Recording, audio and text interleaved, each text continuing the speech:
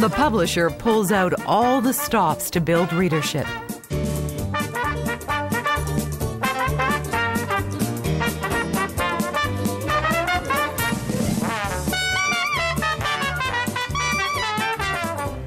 He wanted readers, and, it, and he was accused of doing anything to get readers for his newspaper.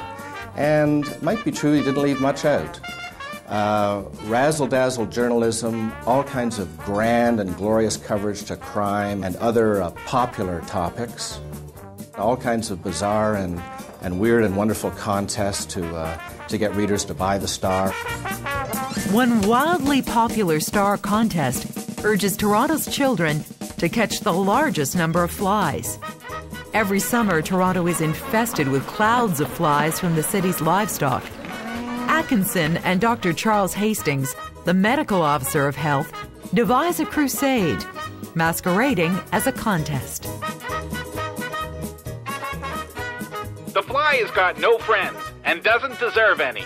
He carries disease to the baby and fills the city cemeteries. Swat the fly, and you may save a baby's life. There was a $25 first prize, which at that point in time, this is the beginning of a recession, huge amount of money, um, particularly for children from the slum areas, which would be parts of the city that would generate the largest number of flies. Toronto's children catch 3.3 million flies. And one of the big winners is 14 year old Beatrice White. She manages to kill an amazing half a million insects. This is the first of many collaborations between the Star publisher and health officer Dr. Hastings. None would be more successful than the fight to clean up Toronto's bad milk. Hastings has a very personal commitment to the milk campaign because one of his daughters died from drinking bad milk. It had a lot of germs in it that caused disease like typhoid and diphtheria and scarlet fever. When they analyzed it, it was shocking how filthy it was. If you fed this to a small infant, they would sicken and die, and it was just viewed as one of those things that happened to many babies. But it does, needless to say, start ringing significant alarm bells for parents and the medical profession and um, Joseph Atkinson. Pasteurization of the city's milk finally becomes compulsory in 1914, but it will be many more years before people accept milk as a health food. Every day the star hits the streets, it's a small victory for Joseph Atkinson. He has to fend off blatant product promotions by his financial backers while keeping the real stories about the downtrodden on the front page.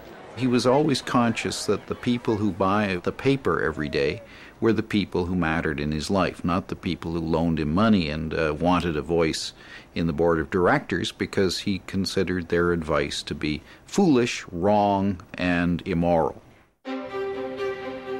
Atkinson knows that advertising is the star's lifeblood. Every night, he and Elmina perform the same ritual holding their breath as they tally up the ads in that day's paper. But the need for ads doesn't stop Atkinson from launching a costly campaign. It exposes price fixing cartels that gouge the public. The first to be brought to justice are 150 plumbers.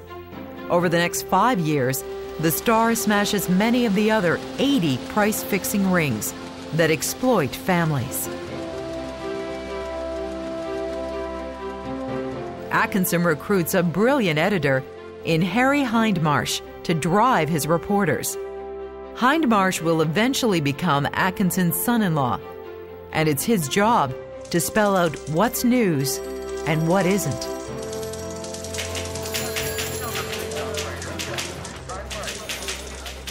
My first impressions were it was just exactly as I'd seen in the movies very exciting, noisy, and exciting, shouting, reporters pounding their stories out and yelling, boy.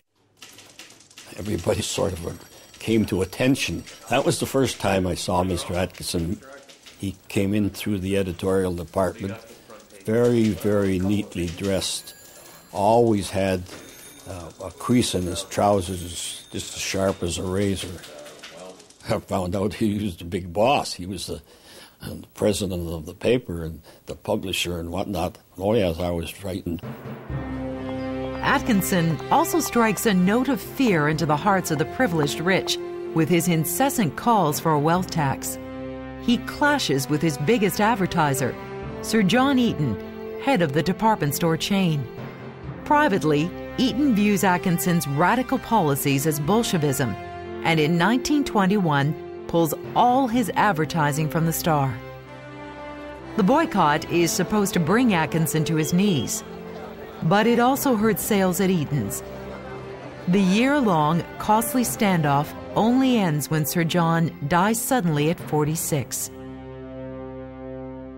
The Eaton ads quickly return to the Star. But behind his titanic newspaper struggles, Atkinson also displays the human touch. He launches two campaigns that will change the lives of Toronto's needy children.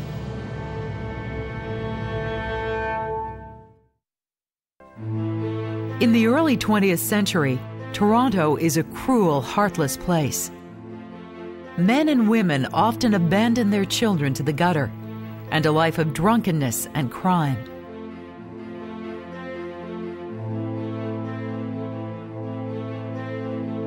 Joseph Atkinson Star devotes front page coverage to their misery.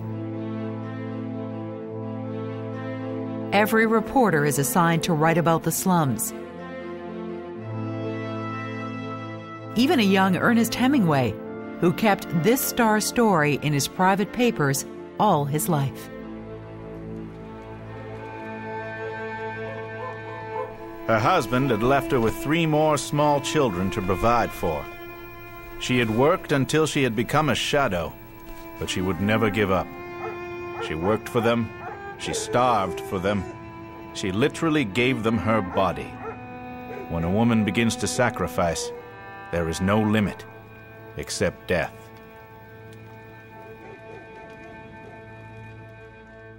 Children were living on the street. The loss of a job, a low paying job for, for a single mother of three, basically meant uh, you're, you're on the street. Uh, sweatshop opportunities for, uh, for children that we now rail against in terms of, of other uh, third world countries. But uh, Atkinson saw progress of the nation, progress of Toronto through the prism of what we did with children.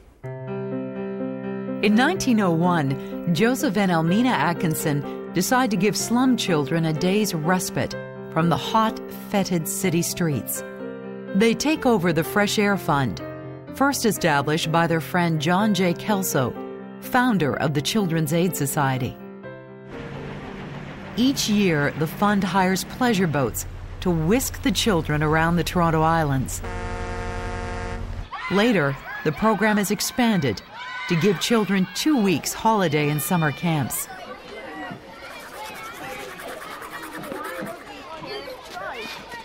Elmina is deeply moved by the early fresh air fun trips, all paid for by readers.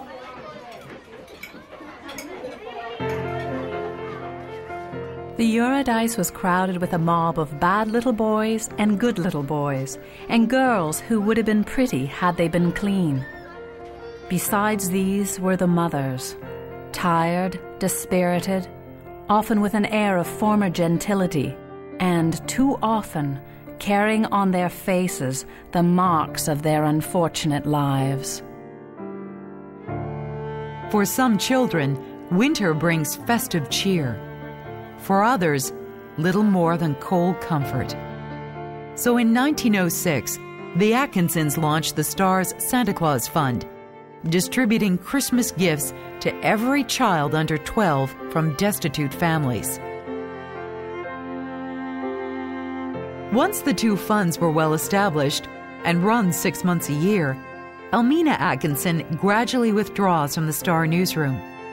Now there will be more time for her own family daughter Ruth and son Joseph Story.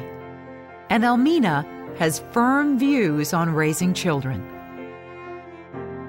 What is right for a woman is right for a man. A girl should read the same books her brother should read. In most of the books for girls, there are too many dolls and too much tears.